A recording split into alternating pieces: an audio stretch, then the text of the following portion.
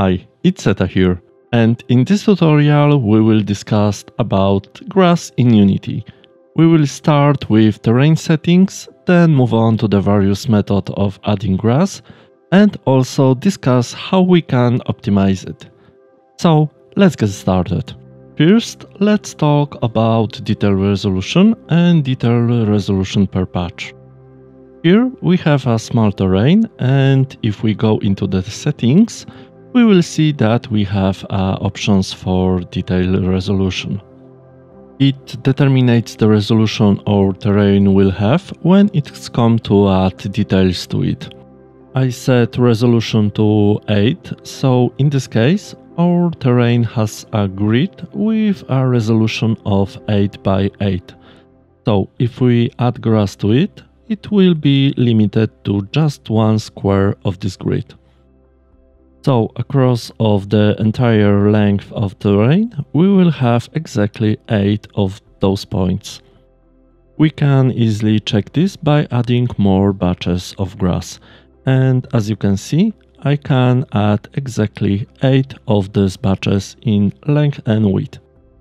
If we want to add grass between those squares, unfortunately it will be impossible because Unity will always add it to the bottom or top square. So if we increase this resolution, then the squares become smaller and we can add more details and we have more control over the distribution. Now let's move on to the details resolution per patch. And oh my god, I think I haven't found a tutorial that described this correctly so far. Some tutorials says that this increase the amount of details and others says that it reduce the distance between models in one square. So remember this once and do not spread nonsense from other tutorials.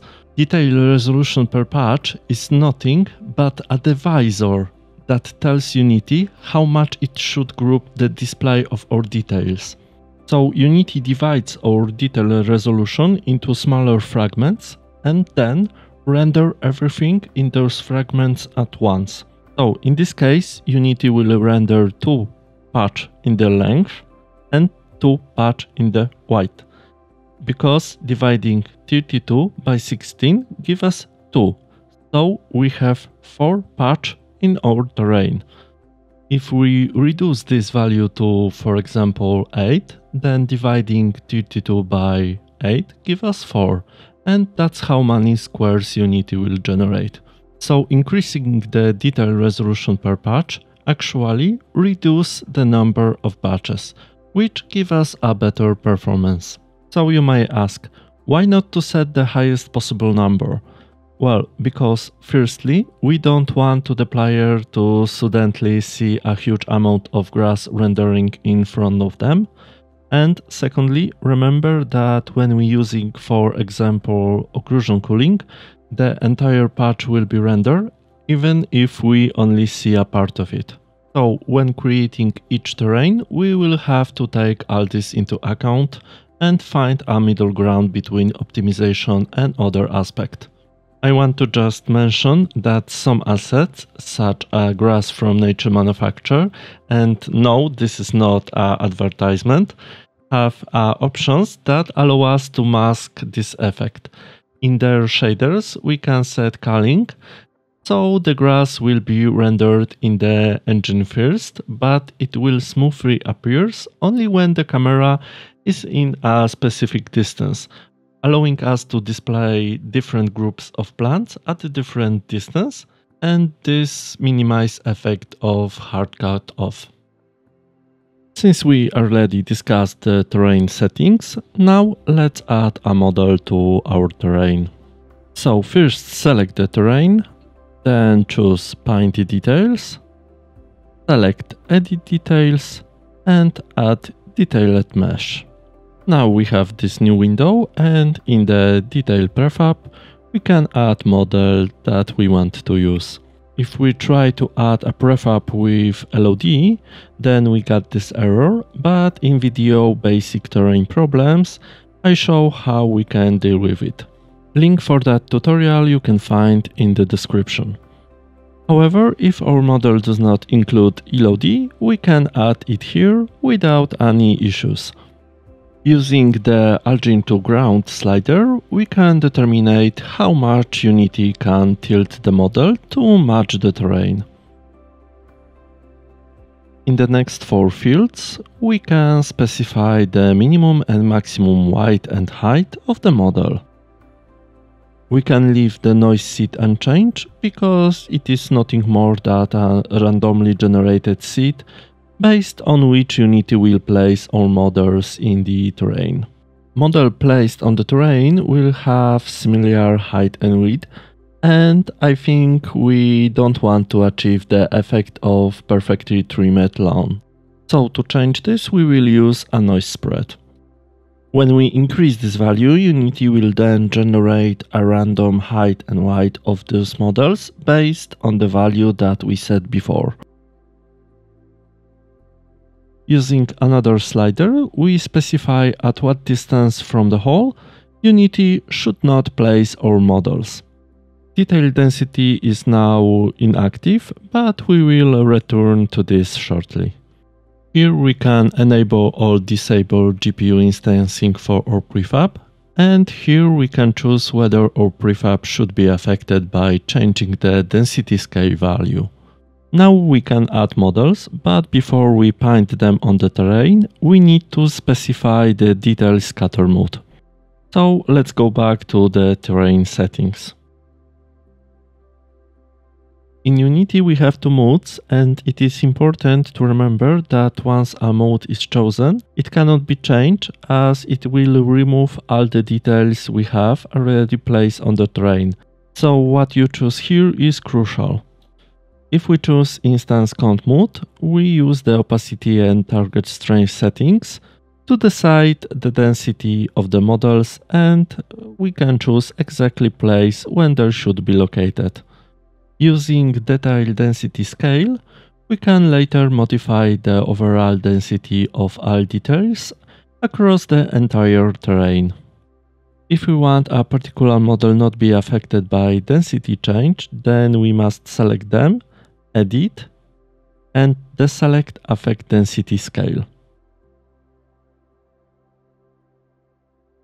The second mode we can choose is a coverage mode, and when we select them during painting details, we'll paint them based on the density settings.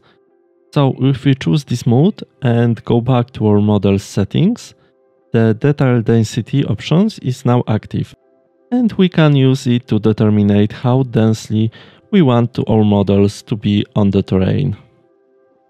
The advantage of this solution is that we can change the amount of the specific models in our terrain at any time, but its place will be generated randomly, so they might not to be exactly where we want them to be.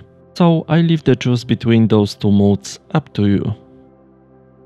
Now, when we have everything set up, we can move on and add our grass to the terrain. If we have a large area and want to cover it with grass, remember not to cover the entire area with prefabs that generate shadows, as this will have a very huge impact on performance. Completely removing shadow is also not recommended as it will make our grass look uninteresting. So what should we do to achieve the effect of dense nice looking grass?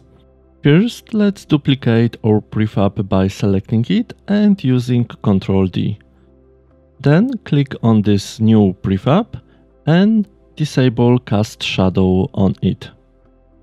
Now let's add it to our terrain, but this time in the settings we don't want our model to be too tall, so set the minimum height to 0.1 and the maximum height to around 1. Let's increase detail density and click add. This way we will be able to densify our grass on the terrain without losing too much performance compared to covering the entire area with shadow generating grass. And now let's optimize a little bit our scene. So first let's reduce a number of tris on our terrain So let's find a prefab that we create before and click on it. And since we use it to dance our grass, we don't need to be a very detailed. So now, as you can see, this model use a very detailed mesh, so it will be much better to use a mesh with fewer tris. Now we have 66 tris and this mesh have 31. So let's assign this mesh to our no cast shadow prefab. So as you can see the grass on the scene hasn't changed much, but when we start the game we have a much less tris than before.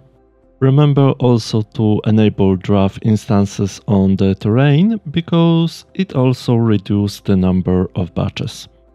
It is also worth remembering that the color of the terrain texture and grass should match each other because it might turn out that we'll be able to reduce the density of the grass without a loss of the visual aspect of a given scene. But I recommend doing this only when the post-processing is ready, because some elements such as volumetric clouds affect the color of the terrain. Also remember that the detail drawing distance we can be changed in the terrain settings using detail distance. And that's all for this tutorial. I hope it was useful and will help you create your own grassy area. Of course, if you have any questions, write them in the comments and until next time. See ya!